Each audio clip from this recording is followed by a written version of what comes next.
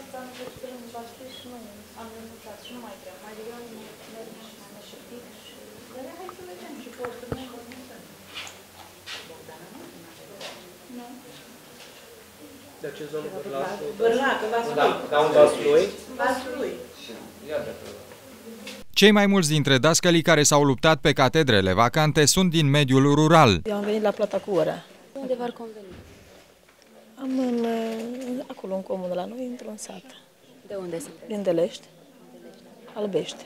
Dacă nu găsiți acolo aproape, sunteți dispusă să faceți naveta? Sau... Nu, nu, nu. nu. Sunt titulară în Delești și o localitate apropiată, este un post liber și am zis să vin la plata cu ora. Învățătoare, educatoare? Învățătoare. Învățătoare. Unde v-ați dori să fie? Uh, În uh, sat la mine, Adică unde? în Negrești. Și dacă nu găsiți acolo? Eu sunt pensionară, probabil că o să renunț și va veni un tânăr. Nu sunteți dispusă să faceți naveta?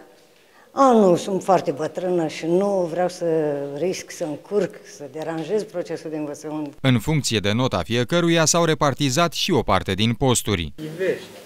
Ivești? Nu. Ivești. E bun Ivești. Da, da, deci să ce cum e vacanța, nu e Ea lui fata aceea de la A, e mai, e mai, E un concediu medical. E un concediu medical, cu tot a fost discuția cu doamna... Poate să întoarcă sau... Da. Chiar dacă, ea chiar dacă se întoarce o săptămână, îmi dă ție întrerupere.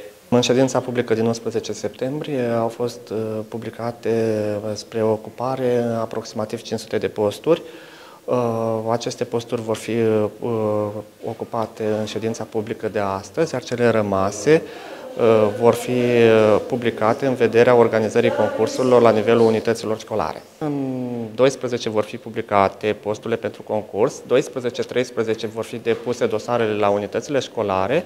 Uh, Aici pot depune candidați calificați care nu au participat la concurs sau care au luat o notă sub 5 și candidați necalificați. Concursurile vor fi organizate în timp cât mai scurt, astfel încât luni 16 septembrie toate orele să se desfășoare fără probleme.